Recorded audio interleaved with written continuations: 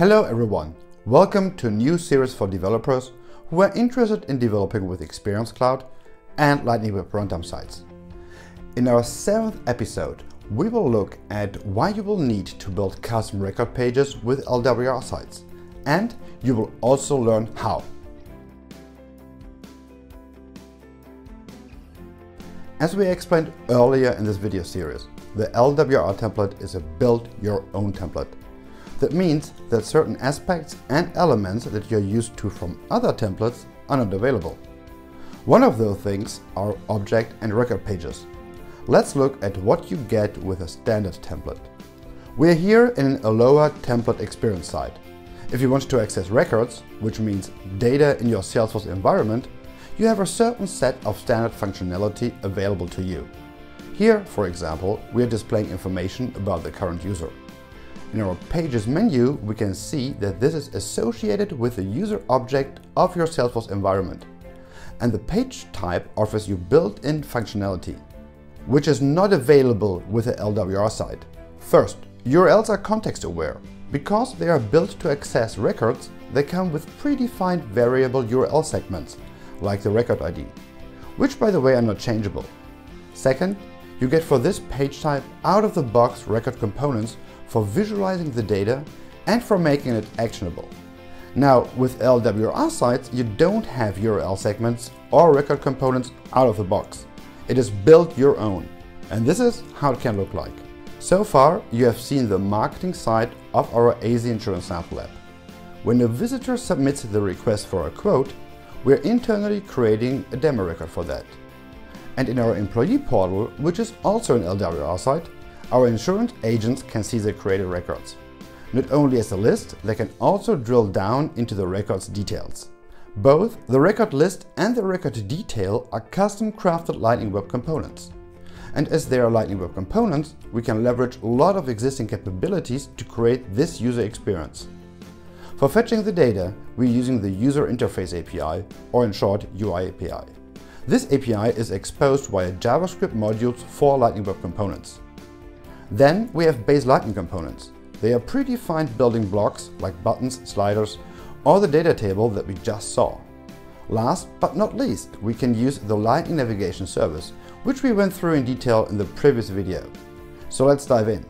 For displaying the records, we are using a Lightning base component, the Lightning Data Table, which comes with a lot of pre-built functionality to, well, display data in a table. It takes a couple of attributes, like which columns exist, which data it should display, or what actions it should contain. You don't have to use the Lightning Data Table for displaying record lists.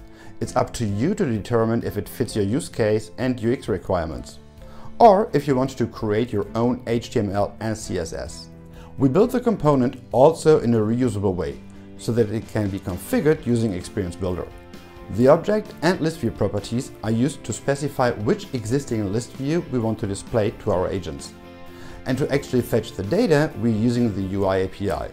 Specifically, we are using the getObjectInfo and the getListUI methods. GetObjectInfo gives us, as the name says, the object's info and we are here interested in getting the metadata definition of the fields of the object, which are stored in our fields property. Why? Because we have to know the data type of every field so that our data table can render its columns properly.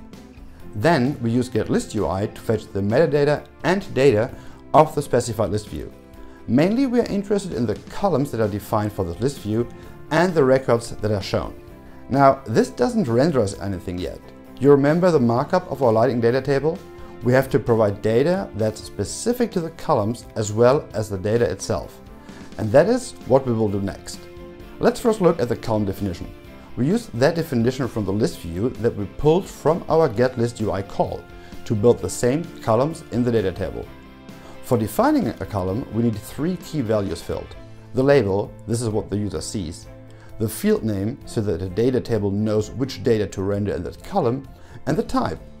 And here is where things are a bit special. Based on the data type that is specified for a column, the data table renders it. For example, it renders a phone number as a clickable URL. It displays column data as currency or just plain text. And as mentioned before, we used the getObjectInfo method to retrieve the object's field metadata. And here is where we need that information. The data type definitions that are available for Lightning Data Table don't map one-to-one -to, -one to those that you get from an object's metadata.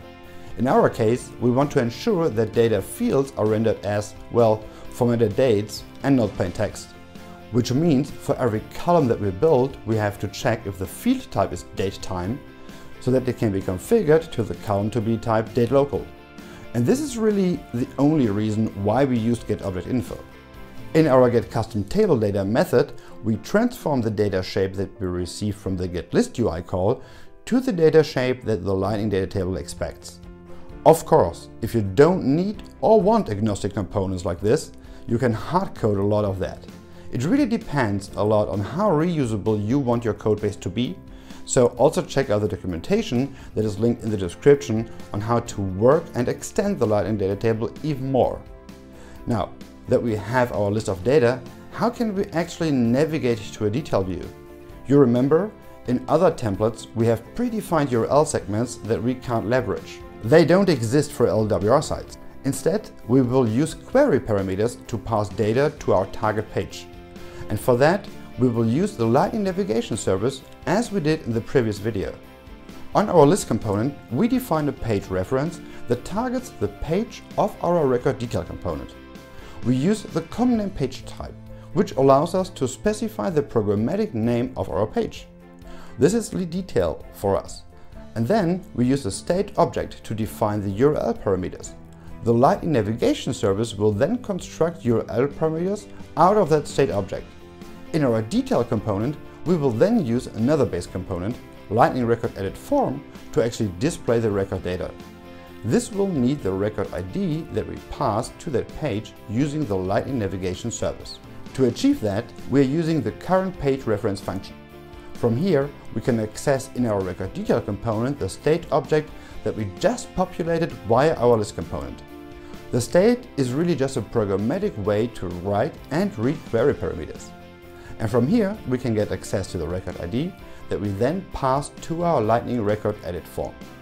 And that's really it on what you have to consider for building custom record pages for LWR sites.